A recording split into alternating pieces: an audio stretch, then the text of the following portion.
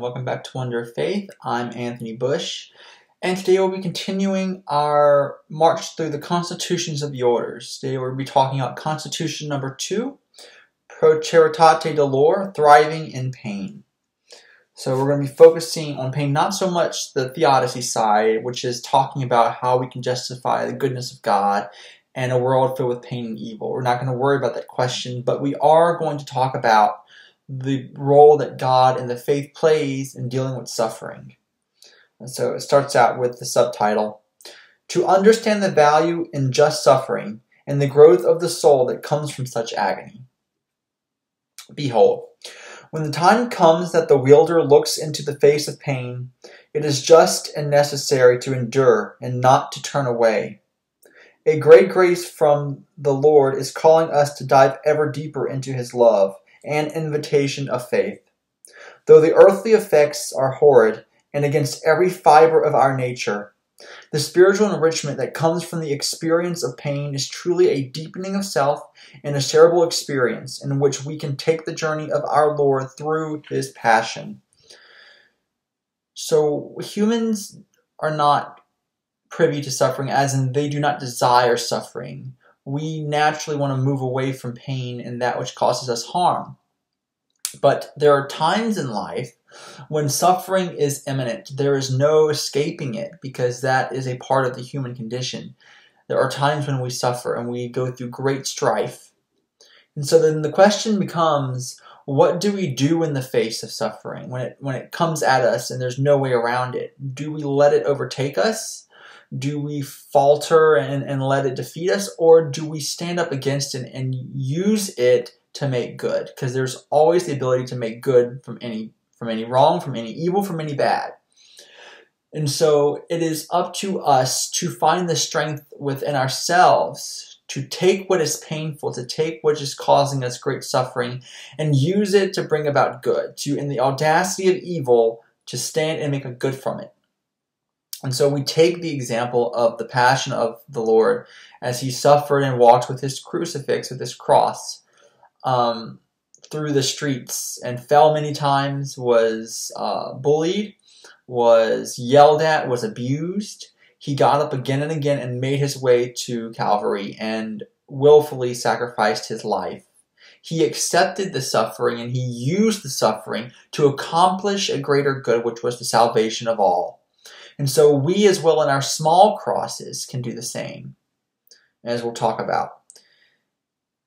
In sharing this, we are able to further understand the Blessed Sacrament, become empathetic to the pain of others, and turn away from the human nature that wants us to be selfish. The pains of life only strengthen what has been made to be strengthened, for it is essential for the growth and continuance of life. This is to say that we are to suffer through that pain which is necessary and not what is bizarre and devoid of value. In the mercy of our Lord, we are given those trials that cause suffering of mind, soul, or body.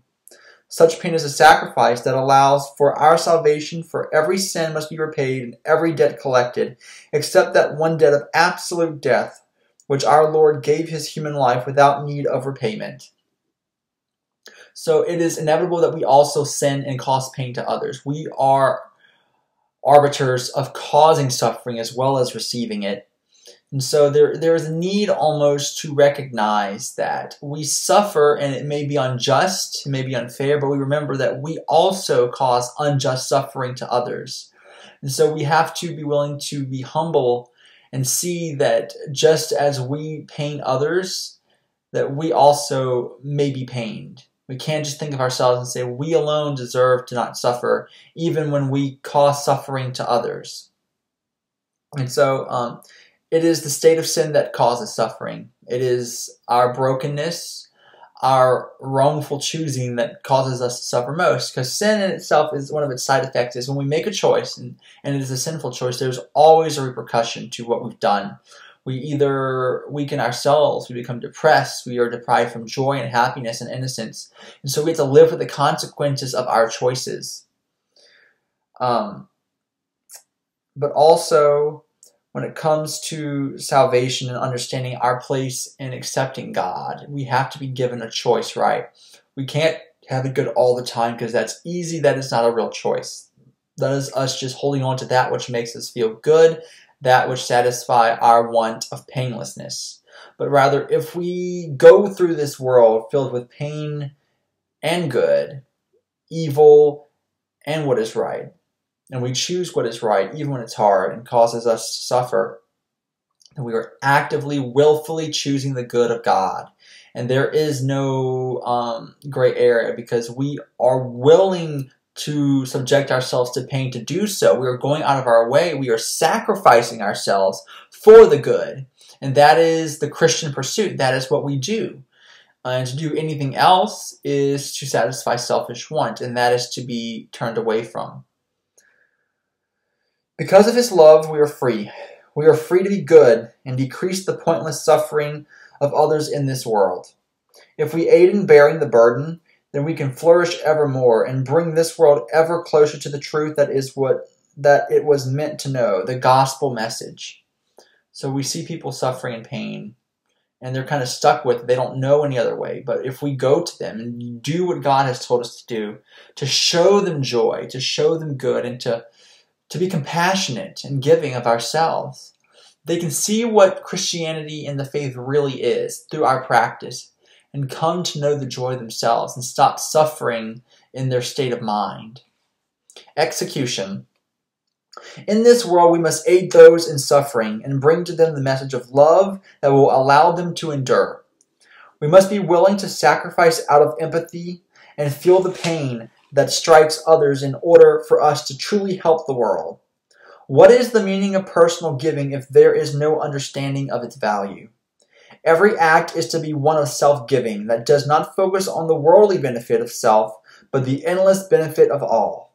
So, if we want to alleviate suffering, we have to plan our action so it is oriented toward the other not ourselves. We can't just worry about what we need or what we want, but we always have to keep in mind what others need and want, especially those we love and care about.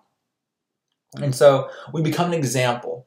And we don't just do things to do things. We have a reason behind them. There is a rational understanding of our actions and how they are all connected to a whole or a huge vision that they all become a part of. It's holistic. It's unitive. And so we have to not just be spontaneous or just act in a non-pattern way, but have a moral understanding and live accordingly so that we can fight against unnecessary suffering because that is the painful reality of the world. The suffering is unnecessary.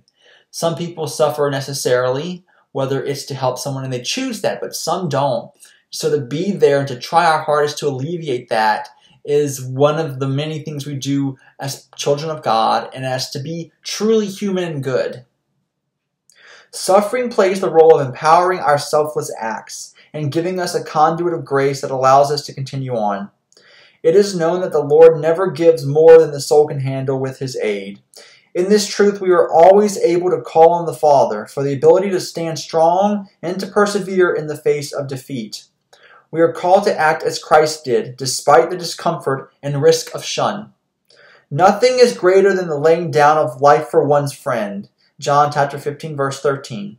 Our baptism gives us the potential to reach that level of love for God. We are called each day to go forth ever onward toward heaven. Let it be known. So, to make good from the bad, to have a hurricane come through, or um, a, a breakout of a disease, and you see suffering and death and pain. But what comes after? There comes a period of unity, of community, of help, of aid, of vulnerability, and it reveals the true human condition that exists under all of the surfaces that we put up on the day to day. We see actual care and action for the other. And that's when the humanity is at its best, when it undergoes great suffering and then combats it, fights against it, and refuses to give in to it. So that is what suffering is. It is to allow us to know the value of the good. For if good alone existed, we would not know what it is, because there is no evil to contrast it to. But because we know what evil is and how dark the world can be, we can look to the light and appreciate its brightness evermore. And that's what we have to do. We have to look only to what is good and what is right and bask in the light so that we can put down evil and suffering and minimize it and help those who cannot help themselves. Finally, onward. Let it be known that from these lessons and revelations, this Constitution does decree 1. Pain is to be avoided if it is unhealthy and without purpose. So we don't afflict pain on ourselves if it's unnecessary. We don't um, lash ourselves. You know, that's been a tradition in the past of the church to like to be like Jesus, we are to cut or to hurt ourselves. And that is causing damage to the body that is unnecessary.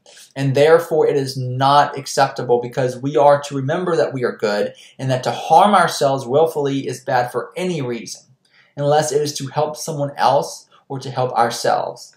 Number two, pain is never to be avoided if it is the case that it would transfer harm to another. So we have to be courageous enough to remember that we do not put pain on others to save ourselves. That is the definition of cowardice. That is the definition of being a base and rejecting the human dignity of yourself. We must always put the other first. And therefore, if pain comes our way, we do not push it on someone else, but we take it and we make what we can of it with God's help. Number three, empathy shall be practiced as to understand the suffering of others. So it's not enough to just live your own life and be blind to what others go through, but to see what others suffer with and to be there with them and give of yourself. That is what you're called to do. That is what will make you happy and whole. So it is good that we are uh, empath- empathetic and have that ability and, and try to get better at it so that we can be more helpful and more giving of ourselves. Number four, Pain is found not only in the physical, but also in the spiritual and mental. So it's easy to just um, talk about like poverty or physical element like someone having a bruise or a cut, but there is also spiritual, emotional, and psychological pain. And those types of pains many times are more perpetual, that they go on longer and they don't leave and these existential pains are serious and it's an epidemic. We have too much of this in the modern world because the joy is not known, faith is not instilled. And so we have to do our part to speak up, to be caring, to give of ourselves, and not just physically, but also spiritually, and be there for those who need help, who need support, and are just asking for a friend or for someone to listen to them. And so we have to be able to play that part, even if it's hard for us. We have to be willing to listen and give what we can to people. And number five, give all pain up to the Lord. Never let suffering go without meaning. Always give it to God and allow God to make you better through it. Because if you can't avoid it, you might as well make the most of it. I mean, what else is there to do?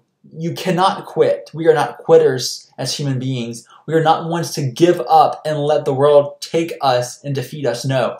We stand strong, and so we take the pain and we give it to God who can make the most of it. If only we let Him and we have faith.